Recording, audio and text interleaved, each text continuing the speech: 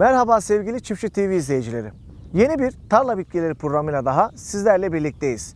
Bugün ölüm hariç her derde deva olduğu söylenen çörek otunun toprak hazırlığı, yetiştirilmesi, pazarlaması hakkında merak edilen her şeyi sizler için değerlendireceğiz. Her zaman olduğu gibi bugün de yanımızda bir ziraat mühendisimiz ve çiftçilerimiz bulunmakta. Ziraat mühendisimiz Fatih Bey, çiftçilerimiz Şevket Bey ve oğlu İrfan Bey. E, sizleri bir tanıyabilir miyiz?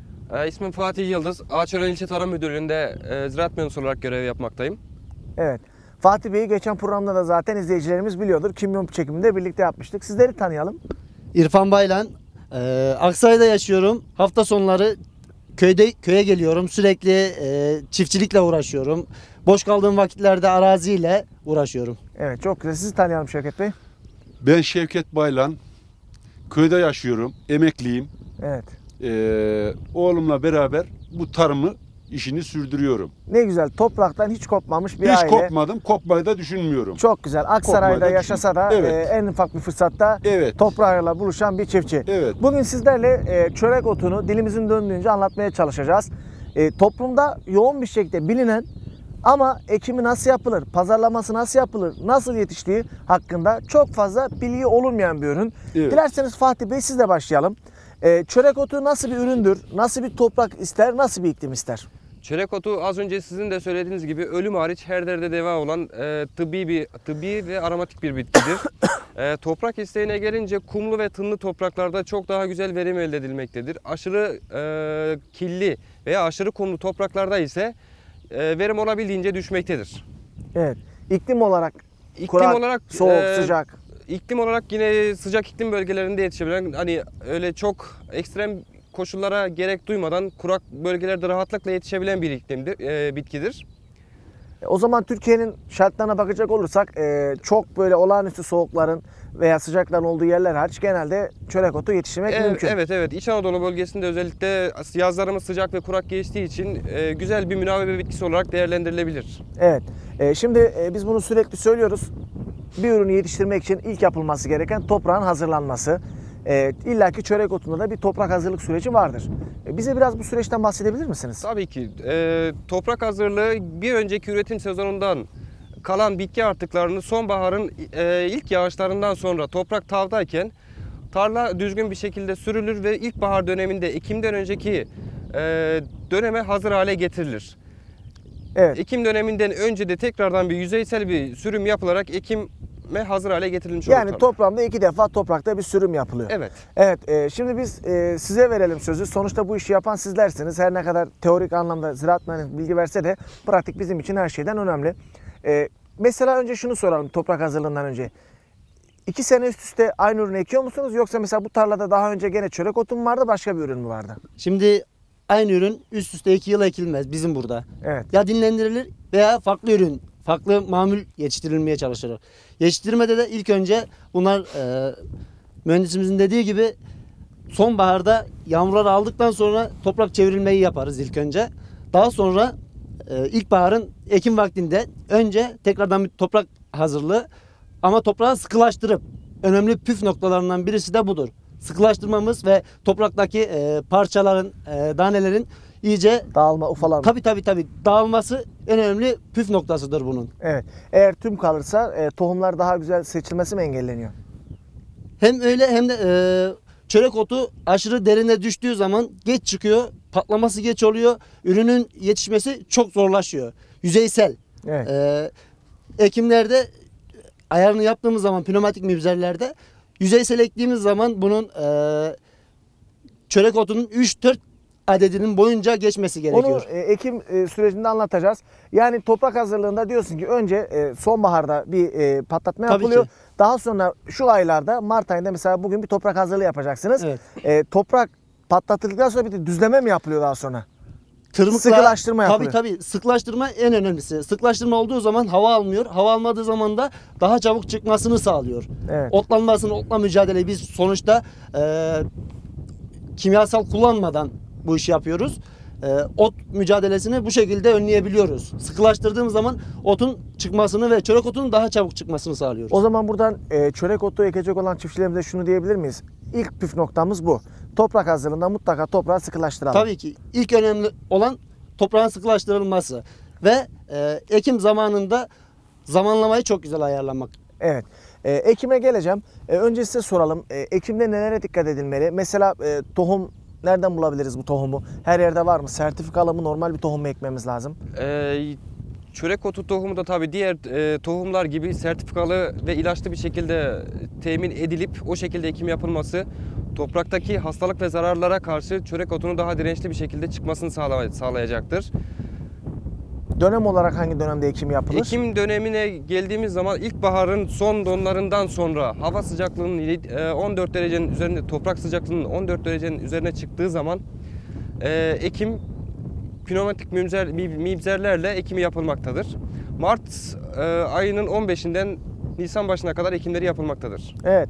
Şimdi bu işin e, aslına bakarsan mimarlarından birisi Şevket abiye söz verelim. E, Şevket abi bizim buralarda Aksaray'da genelde insanlar standart ürünler ekerler. Her ne kadar son yıllarda özellikle alternatif tarım ürünleri Evet. Aksaray piyasasında üretilmeye başlasa da genelde buğdaydır, arpadır. İşte buralarda e, yonca falan ekilir. E, çörek otu nereden aklına geldi? Çörek otu nereden aklımıza geldi? Çörek otu, otu bir gün oturuyorduk işte oğlum, yeğenim. Bu kendi aramızda kafamıza takıldı. Ekelim bu sene en azından deneyelim. Evet. Deneyelim. En azından tecrübemiz olur. İkinci bir ekimimizde daha bilinçli olarak yaparız diye düşündük ve bu işe girdik. Yani Allah'a diyorsunuz sığınarak. ki e, alternatif ürünlere yönelmeye kafamıza Evet, koyduk. evet, Kimyonu da zaten yeni ekmişti. Evet, evet. E, çörek otunu da biz ektik diyorsun. Farklılıklar denedik ki memnun kaldın ki Tabii ki, bu tabii sene ki. tekrardan ekiyorsun. Tabii ki memnunuz. Çok şükür. Var mı bu yörede hiç eken veya ilk Hayır. ekliğinde ne yaptın? Hayır. İyi ki ekiyorum mu dediler yoksa tepki mi yaptılar? Evet, halk, halktan biraz tepki gördük. Ne dediler? İyi ki ektin mi dediler yoksa? resmen dalga geçtiler yani Allah otu ekin gibicesine. Evet. Çok şükür ben memnunum ek, ürünümden. Ne güzel. Şimdi e, tabii böyle alternatif ürünlere yöneldiğin zaman bizim toplumda şöyle bir olay vardır. Biri ekecek, para kazanacak, millet görecek, Yani. onlar da ekecek. E, sen önce olmuşsun. Evet. E, biz de Tarla Bitkiler ailesi olarak seni tebrik ediyoruz. Teşekkür ederim. Peki e, tohumu nereden buldun? İlk, nereden araştırdın? Ne yaptın? Tohumu biz e, Koçhisar'dan bir bayiden aldık Evet. ilaçlı olarak. Memnunuz yani. Tohum bulmada bir sıkıntı Memnun. yaşamadın Yok diyorsun. sorun çıkmadı. Tamam. Sorun çıkmadı. Evet İrfan kardeşim, e, to- tarlaya aldın, tohumu aldın, geldin. Sertifikalı tohumu ekeceğiz. İlla ki öncesinde bir araştırma yaptın, ona göre ektin. Hemen deneyimlerinden bize bahset bakalım. Şimdi- E, nasıl ektin, hangi ekipmanı kullandın ve aralıklar? aralıklar. Şimdi şöyle söyleyeyim. İlk başta biz ekim yapmadan önce tabii ki bir piyasa araştırması yaptık. Hani çörek otunun e, nasıl satılıyor, nerelerde tüketiliyor veya hani ekimleri nasıl ne zaman yapılıyor onları araştırdık.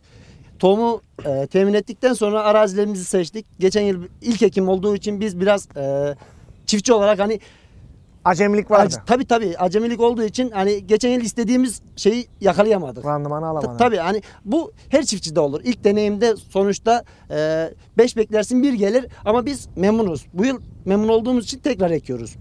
Hazırladık toprağı. e, tohum aralığı bunda e, yine toprak sıkıştırmada olduğu gibi önemli. Toprak sıkıştırmanın ne kadar önemli olduğu gibi bu toprak aralığı da mesafe aralığı da çok önemli.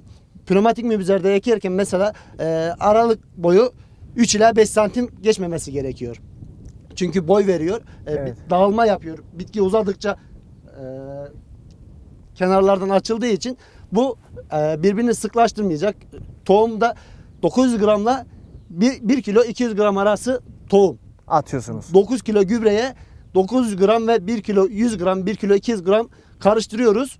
E, pneumatik mübzerlerin gübre gözüne koyup o şekilde ekiyoruz. Yani e, gübreye geleceğiz birazdan. Yani diyorsun ki toprağı sıkılaştırmak kadar e, tohumların arasını ve derinliğini ayarlamak da önemli. Drenaj E, tabii. Evet bunu geçen hafta e, kimyon ekiminde anlatmıştı e, arkadaşımız. Evet. E, o aralığa dikkat etmemişler. Tarla, tekerin geçtiği sıklaştığı yerlerde güzel ürün aldık. Evet. Diğerlerde alamadık. Tabi bu tecrübe. Geçen sene ektiniz. Sıkıntılarınız olursa bu sene aynı hataları yapmayacaksınız herhalde. Gördük geçen yılki hatalarımızı biz. Evet. geçen yılki hatalarımızı giderdik. Hani e, ekipman temin ettik veya toprak şeyini tasfiyesini, imarını daha düzgün bir şekilde yaptık. Bu yıl inşallah geçen yılkinden daha güzel bir verim almayı temenni ediyoruz. Ekimi hangi dönemde yapıyorsunuz? Ekimi e, mühendisimin dediği gibi don olaylarının bittiği zamandan sonra yani Mart'ın 15 ile bura biraz daha e, Mart'ın 15'inden sonradan yine tekrardan don olayları olabiliyor. Evet. Mart'ın sonundan Nisan'ın 15'ine kadar Ekim aralığı olabiliyor. Ekim ayı yani Tabii. bu arada ya gene o zaman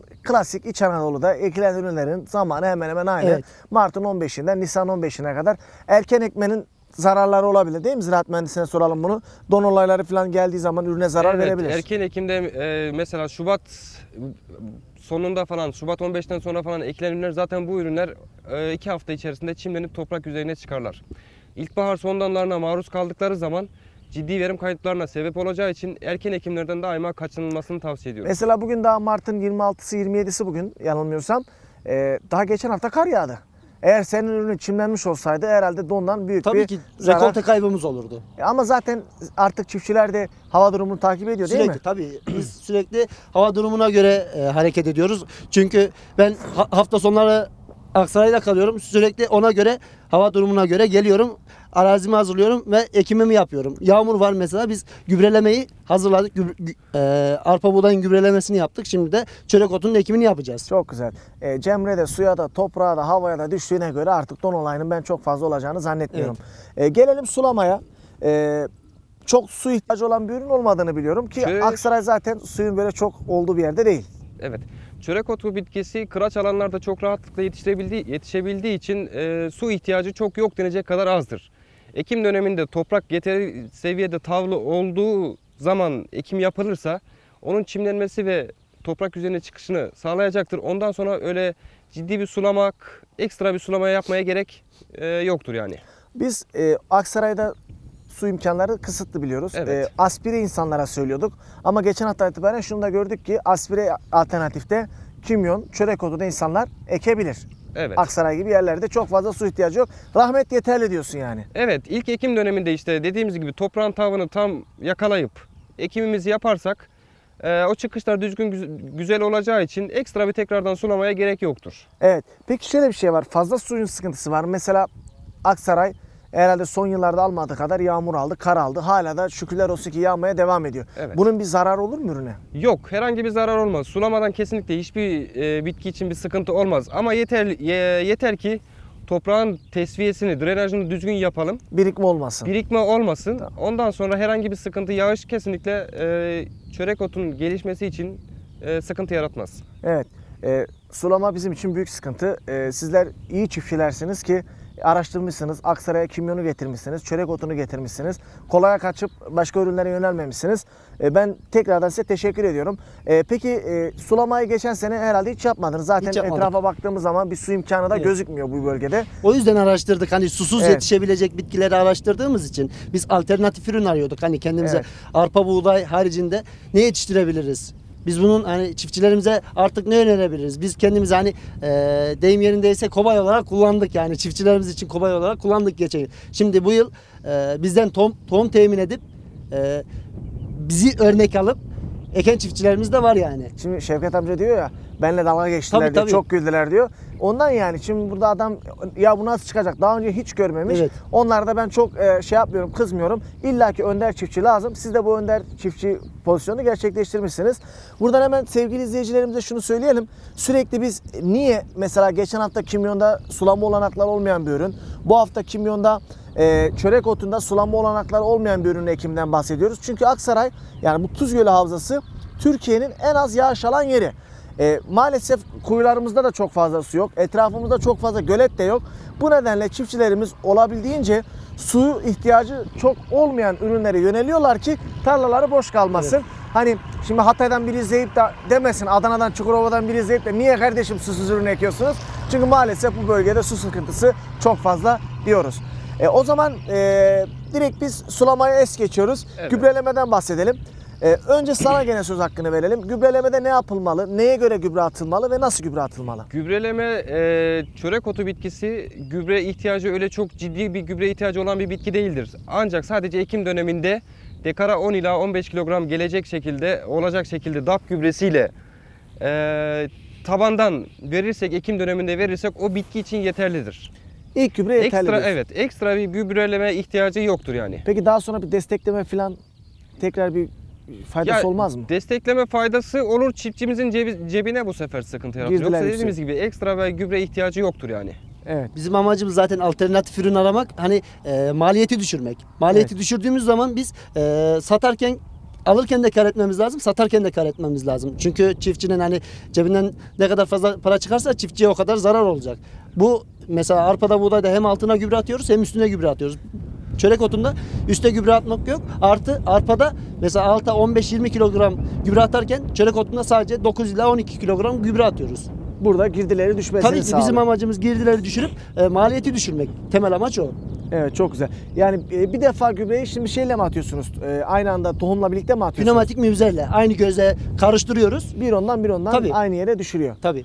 E, tekrar bir gübre ihtiyacı yok diyorsun. Herhangi bir gübre ihtiyacı yeterli yani toprak şartlarında yeterli oluyor. Evet çok güzel. O zaman Şevket abi hemen bir soru soralım. E, 60 yaşında yıllardan beri çiftçilikle uğraşan bir insan.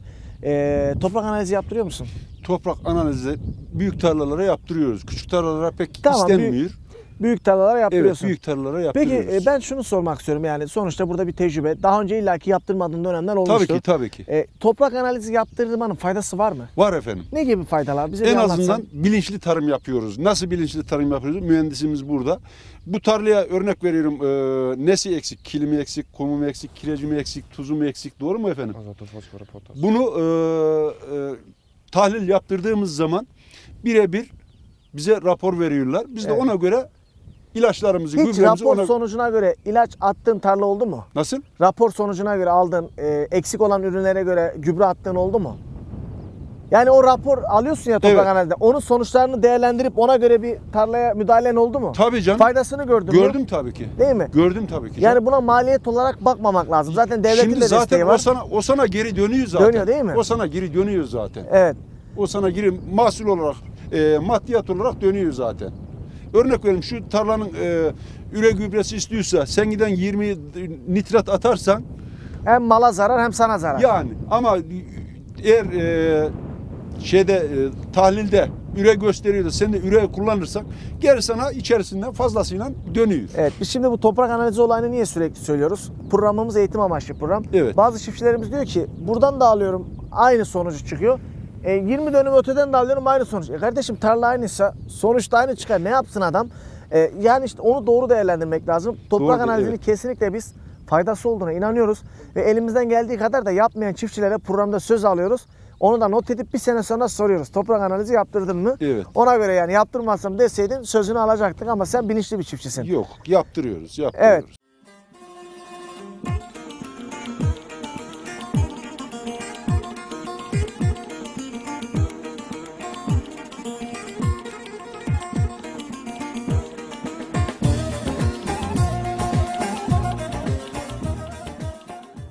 Gübreleme senin için de bir sefer yetiyor mu? Bir sefer yetiyor mu? Aslında e, kırsal kesimlere bir sefer yetiyor efendim. Nasıl yetiyor? Bizim bölge sizin de bahsettiğiniz gibi deminki yağışı az olan bir yer. Hele özellikle Nisan ayından sonra bizim burada yağışlar yüzde maksimuma iner yani. Evet bir 42. yağmurları yağar. Yani Ondan sonra onu da dek getirin dek getiremem. Attığın zaman gübre ekini yakma ihtimali çok büyük Evet. bizim burada. Ama sulu yerin olur. Basarsın gübreyi, verirsin suyunu. Evet. Mesela bugün ya Şevket abimin dediği çok doğru. Pazartesi, salı günü yağmur olacağı belliydi. Hafta sonu kimi arıyorsak neredesin? Vallahi diyor gübre atıyorum yağmur geliyor. Ya. Ne kadar güzel. Abi bizim burada yağmur olayı, yağış olayı Çok, çok, nadir. nadir. Ama bu sene yağdı Şevket abi. Şükür, çok E, şükür. şükür çok edelim bu şükür, sene. çok Bu sene çok iyi yağdı. O, o yönden memnunuz. Allah'a binlerce şükür olsun. İnşallah ürünümüz de kazançlı olur ki Amin. e, Amin. siz Cümlemize. çiftçinin yüzü gülünce biz Çiftçi TV ailesi olarak hepimizin yüzü gülüyor. Evet. İş siz kazanın ki bizim yüzümüzde gülmeye devam etsin. Evet. E, gelelim hastalık ve zararlara. E, hastalık ve zararlı var mı yoğun bir şekilde yapılan, e, görülen?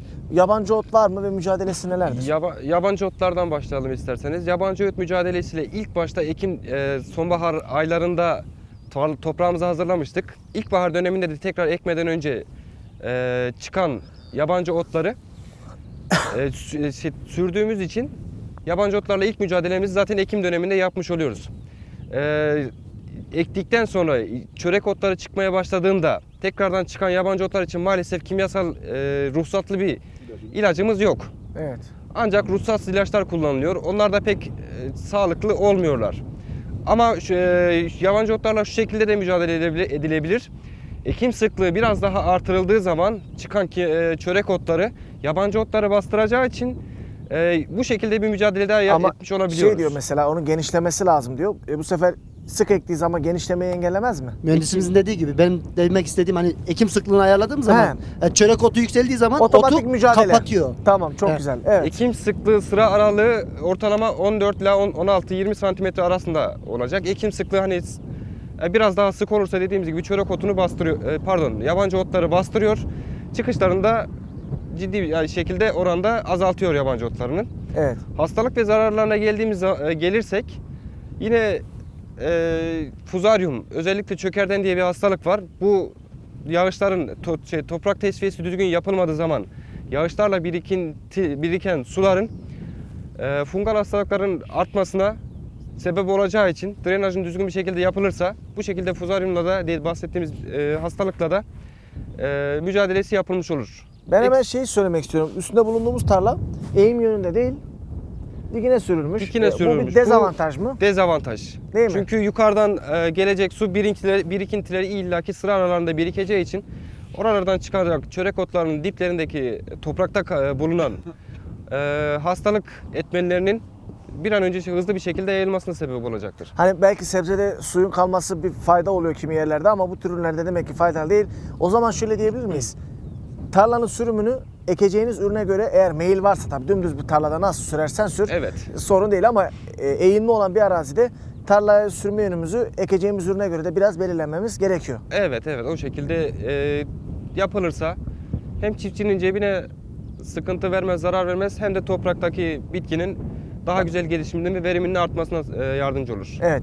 e, hemen size dönelim tekrardan çiftçimize. E, yabancı otlarla mücadele mesela illaki sık olmayan yerlerde çıkıyor. İlaçla kullanamıyorsun. Oraya geleceğiz. Hastalık ve zararlar var mı? Neyle karşılaştın?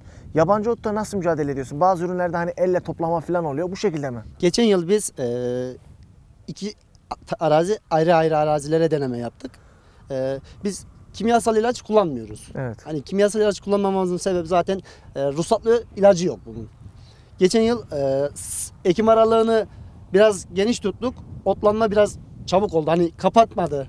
Çörek otu otu kapatmadı. Biz de aradaki otları e, alabildiğimiz kadar elimizle aldık. Hani kurtarabildiğimiz kadar elimizle aldık ama diğer arazimiz otlanmayı engelledi. Hani e, maksimum seviyede yüzde on bir şey kaybımız oldu. Otlanmadan dolayı rekolte kaybımız oldu tabii ki ama öteki arazimizde elimizle aldığımız yerde daha düzenli bir verim almış Yani bulunduk yani. Gene kim yerde topladınız kim yerde ama ne olursa olsun kadar. toplandığı zaman e tabi burada şey de var.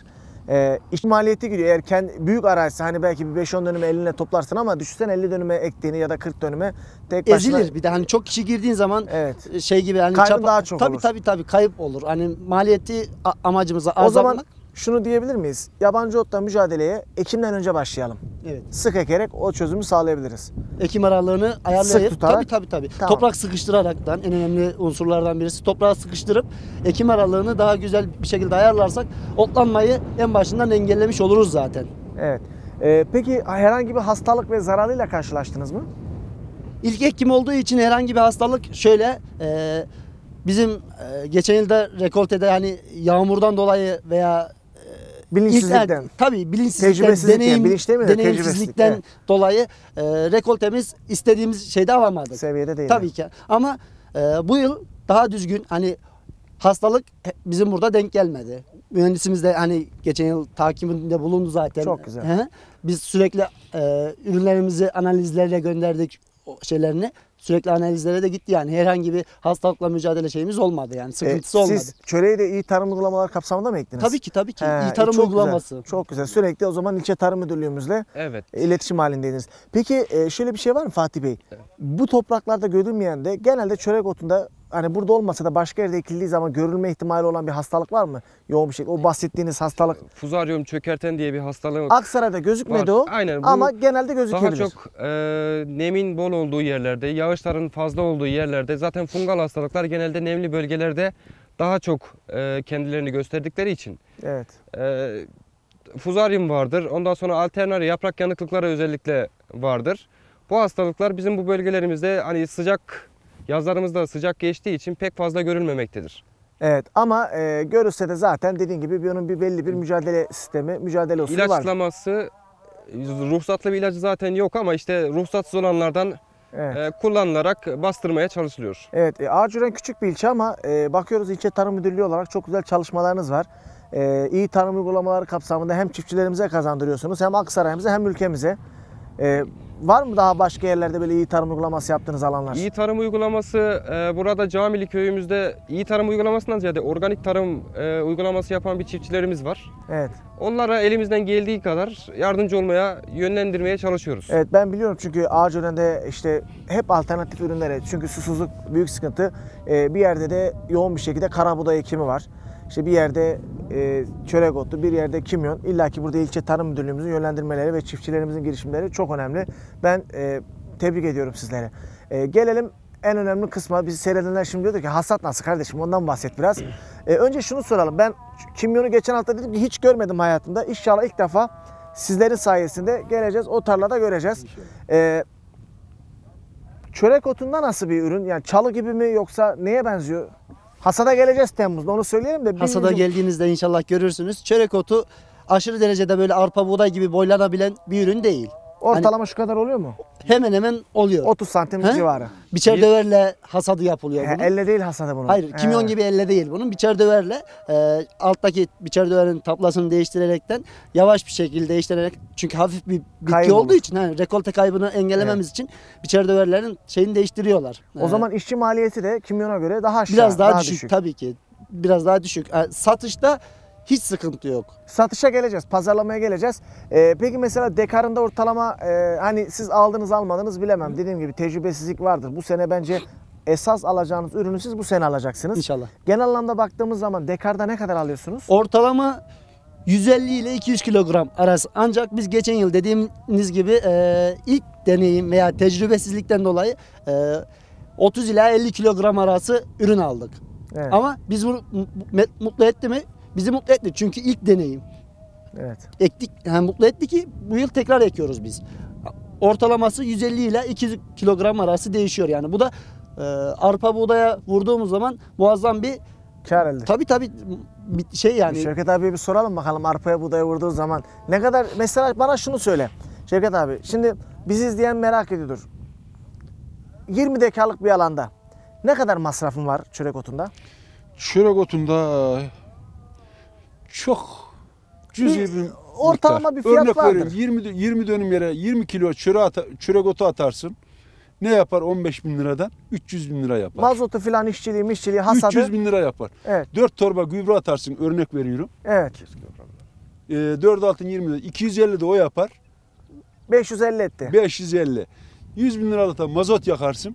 650. 650. Hadi fazlasını git 1 milyon lira. Şey, e, bir çere ne kadar veriyorsun? Bir çere 10 bin lira dekarda biçme. için eklediğimiz- 10-12 bin liraya biçiliyor. Toplam ne yapıyor maliyetin? 10 bin liraya, 1000 liraya çıktığını kabul et ya. 1 milyar. Biçerle birlikte, 1 milyar. biçerle, Bir şey tabii canım. e, biçerle birlikte bir yani eski Bir milyar, parayla 1 20 milyar, yeni parayla masrafı 1000 bir lira. milyar. Bin lira. 20 dönümün maliyeti 1000 lira. Tabii ki 1 milyar. Kazancı ne kadar? Kazancı ne kadar? Şimdi bir kere iyi tarımdan dolayı bir desteğini 10 lira mı iyi tarım desteği kilosunu? Dekara 100 lira. De, 100 dekara lira, 100 lira, 100 lira. 20 dekarda 2000 lira. Evet. Bir kere otomatikmen 1000 lira kâra iyi tarımdan geçtin. Zaten zaten Tamam. bizim masrafımız tamamen oradan iyi çıkıyor tarım. fazlasıyla. Tamam. e, daha başka satışta mesela kilosunu ne kadar satıyorsun? Satışta ben 15 bin liraya verdim. 15 milyon lira 15 bin kilosu. liraya verdim. Dekarda kaç kilo alırsın ortalama? Dekarda bu sene e, oğlumun da söylediği gibi e, bilinçsiz ek, ekip biçtiğimiz için pek randımanını alamadık. Ama gene de çok Hedefiniz şükür. ne bu sene? Buyur. Bu sene hedef ne? Bu sene hedefim 100, 125, 150'ye Toplamda 100 kilo. 100 kiloya Yani nereden bekliyorum baksan yani. 15 Allah izin verirse 16 milyar tamamıyla kar kalıyor sana. Yani. Yani 20 dönümden kuru topraktan Yani. alternatif ürüne sen bunu buğdayda alabilir misin? Alam mümkün Alamazsın. değil. Mümkün değil. İşte biz buradan Mümkün değil. Evet, e, Efendim? çiftçilerimize zaten sürekli bunu, biz bu programda bunu göstermeye çalışıyoruz. E, İlla ki sürekli ekilen ürünler önemlidir ama alternatif ürünleri de araştıralım. Bakın ne güzel iki tane genç çiftçimiz. Geçen hafta amcamızın oğluyla yapmıştık. Bu hafta senle yapıyoruz programımızı. Alternatif ürünlere yönelmişiz. Belki de e, Şevket amcam yıllarca ekmiş Evet. buğdayı, ekmiş e, mısırı. Aynen. Alamamış. Aynen. Gitmiş gelmiş, gitmiş gelmiş. Olanı bile mazot- vermemişsin daha. Mazot Yani parasını bana- ödeyemiyordum ben mazot parasını ödeyemiyordum. Arpa buğday ektiğim zamanlar inan mazot Oğlanı parası- nasıl evlendireyim de. Oğlanı nasıl evlendireyim? ha? Ama şimdi parayı buldunuz artık. He? Oğlanı Evet, evlendireceğiz inşallah. evet, Hayırlı bir doğru- kısmet doğru çıktığı zaman. söylüyorsunuz. Yani gerçekten güzel. Yani bu 6 aylık dönem içerisinde e, ekimi Mart sonu Nisan başı yapıyoruz. Hasadı ne zaman Aynen. yapıyoruz? Hasatı 8. ayın 7. ayın sonu 8. ayın işte başı diyelim. 7. Dört ay. 7. ayın 7. ayın 20'sinde 22'sinde başlar hasatı. Şimdi çok güzel bir ürün. Sulama diye bir derdin yok. Gübreleme. Gübrelemeye gelmiyorsun. Aynen. Hastalıkla zararla mücadele evde yatıyorsun. 4 masraf ayda fazla değil bir de. e, işte diyorum 4 ayda güzel bir para kazanıyorsun. Peki hiç gelip böyle kontrol ettiğin oluyor mu tarlanı? Sürekli. Sürekli. Evet. Biz sürekli sürekli içinden çıkmıyoruz. Bakıyoruz biz. Tabii ne, ama müdahale etmiyorsun. Ya, Bakıp ya gidiyorsun müdahale evine. edecek durum varsa müdahale ediyorsun. Müdahale edecek durumlara. Müdahale edilmeyecek durum varsa yapamazsın ki Ben bir şey. ilk aspiri çektiğimde e, programı yapıyoruz. Sulamayı anlatacağım. Abi diyor sulama yok. E, gübrelemeyi anlatacağım. Gübreleme yok. Hastalık. E, biz dedim bu programı nasıl yapacağız?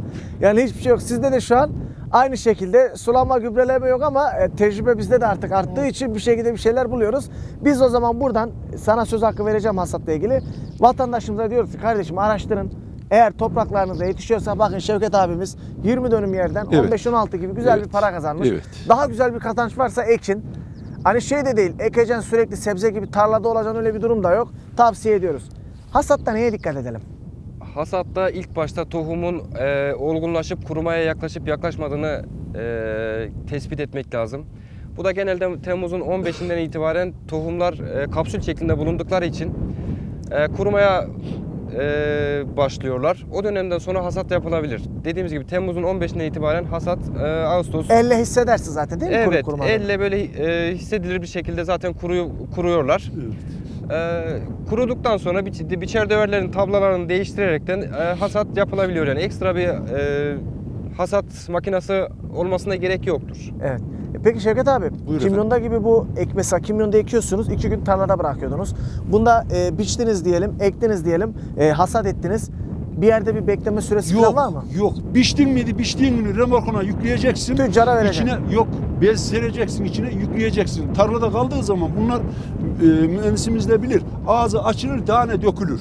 Evet, Bunu remorkun içine bez atıyoruz. evet. Çadır seriyoruz. Çadırın içine yüklüyoruz. Eve getirip evde yine çadır serip çadırın üstünde e, Bek- harman yapıyoruz. Satmadan bekletiyorsun yani. Tabii tabii tabii efendim. Tabii. Evet.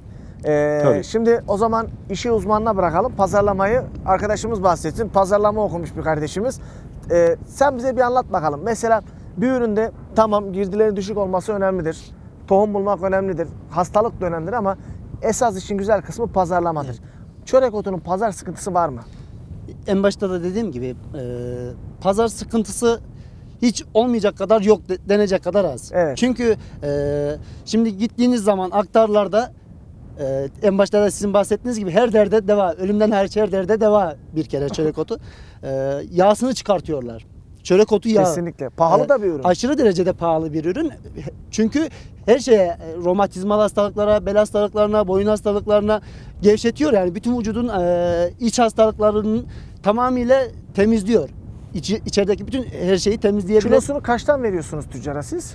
Ben e, aktarlara 15'ten verdim. 15'ten. 15'ten standart 15'ten buradan Aksaray'da kaldığım için gidiyordum torba, torbalayıp götürüp satıyordum. 15 liraya Hiç veriyorsun. hani pazar arama diye hiçbir sıkıntım olmadı. siz direkt kapıya teslim ediyorsunuz. He, aktarlara var Ama bu şeyle de alakalı tabii.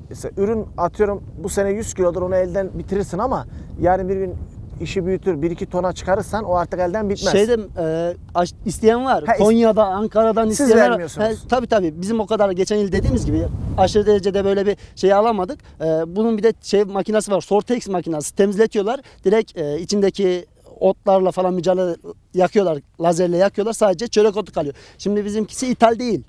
Birinci karımız bu. Hani bir ektiğimizi er- ertesi yıl tekrar ekebiliyoruz biz. Biz ıslahını yaptık bunun. Çünkü iyi tarım yapıyoruz. Ha, tohumunuzu da kendiniz Tabii ayırıyorsunuz. tabii. Geçen yılki ektiğimiz tohumu ıslah ettik. Tekrardan biz bu yıl ekebiliyoruz. İthal Evet. tohum değil. Karımızın biri bu. Hani e, millet şüpheye düşmesin. Ya Girdiden bir kere tabii var. tabii. E, tohumumuzu biz çoğalttık. Hani tohumu satın alayım dışarıdan tekrardan tohum alayım gibi bir derdimiz asla yok. Çok Hani güzel. buradan en başta karımız zaten bu. Pazar olasılığı Konya'da, Ankara'da bunun e, toplu alanlar var. Evet. Beni her gün arıyorlar. Diyorlar ya çörek otu şey yapalım hani verelim. Ben birkaç kişiye böyle e, verdim. Onlar da duyurmuşlar topla al- alacak kişilere. Ben vermedim. Hani mesafe uzak olduğu Yani için işin özü şu. Ben eğer vermek istesem bir günde çörek otunu elden Elimden çıkarabilirim. çıkartırım, Yani buradan ekmek isteyen vatandaşlarımıza şunu söyleyebilir miyiz? Çörek otu ekerseniz elinizde kalma ihtimali yok. biz sattık. Evet. De- deneyimsiz olarak sattıysak herkes de satabilir diyorum ben. Hani pazarlama okudum. Hani bunu tamam oku, okulunu okumuş olabilirim ama arkada- arkadaş kimyon ekti. Geçen hafta da programda bahsettiniz. Ee, Evet. Kimyonu bir anda çıkarttı. Yalnız sattı. burada İlk olay şu. e, sen tüccar bulmuyorsun anladığım kadarıyla. Tabii. Tüccar seni buluyor. O yüzden Arıyorlar. evde otururken Evet, tamam evet. anladım. Çok güzel. Belki de bizim programımızı izleyen tüccarlarımız da e, bir şekilde bizim sayemizde size ulaşacaklardır. Bu sene pazarımız daha da bir genişleyecektir. İnşallah. E, yani çok güzel bir ürün. Ekiminde sıkıntı yok. Bakımında sıkıntı yok. Pazarlamasında sıkıntı yok. Sulama gibi bir derdi Hiç yok. yok. Bakım diye bir derdi yok. O yüzden biz vatandaşlarımıza bu ürünü Tavsiye ediyoruz. biliriz.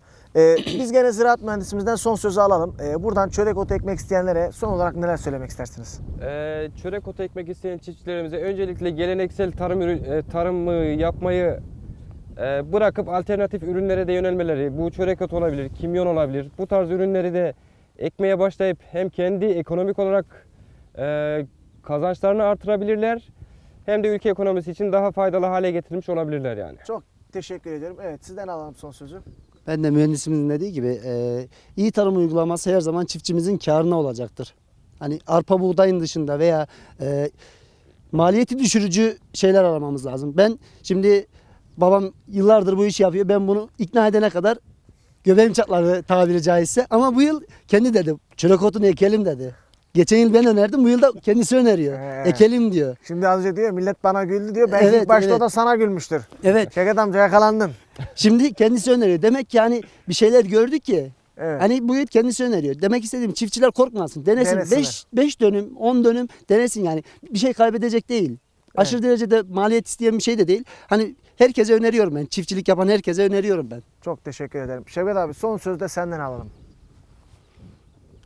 Neler demek istersin bu çörek otu ile ilgili ya da alternatif ürünlere yönelsin Valla insanlar. denemekte fayda vardır. Evet. Tek kelime alternatif ürünleri denemekte fayda vardır. Arpa, buğday ekip petrolcüyü görünce kısılıp püsülmeye gerek yok. Mazot alamıyorum, gübre bulamıyorum demeye gerek yok. Evet. Alternatif ürünlere sağ olsun il tarımımız, ilçe tarımımız bize her konuda yardımcı oluyorlar. Evet. Bu konuda var bir şeye danışıyoruz. Cevabını peşinden alıyoruz. Gerekirse görülecek şeyleri gelip yerinde görüyorlar. Bize yol gösteriyorlar. Teşekkür ederim onlara da. Son olarak İzmir Karabağlar'da oturmakta olan oğlum Kudret, gelinim Tülay, torunum Sultan, Aleyna, Eslem. Gözlerinden öperim hepsinin. Bu ekranlarda pek de olmayan bir şey oldu. Selam yolladık. Evet. Aksaray'da torunlarıma, oğluma, Sarıyaşı'da oturan torunlarıma, oğluma hepsinin gözlerinden öperim. E, Biz de e, tarla bitkileri ailesi olarak hem alternatif ürünleri yönlendirici sizlere hem de sizlere destek veren ilçe tarım müdürlüğüne ve nezdinde Fatih Bey'e çok teşekkür ediyoruz. Programımıza katıldınız.